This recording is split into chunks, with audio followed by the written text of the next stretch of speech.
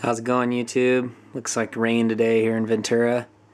Uh, got something real cool finally. Uh, got it off eBay last week and it came in today. They are Roundhouse SPSF, completely unpatched, 50 foot box cars um, with all the markings and uh, color scheme as if uh, the merger went through. I got three road numbers, I built two. I'm going to save one just in case. Uh, these things go for anywhere between 15 and 80 bucks on YouTube.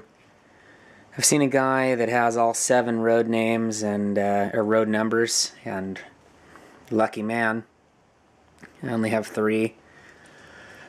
Story goes that Roundhouse produced these in 1984, um, thinking, you know, obviously that the merger was going through or going to go through or something of that nature, and uh, it didn't.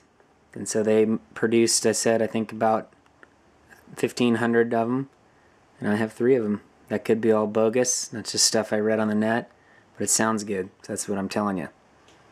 Talk to you later.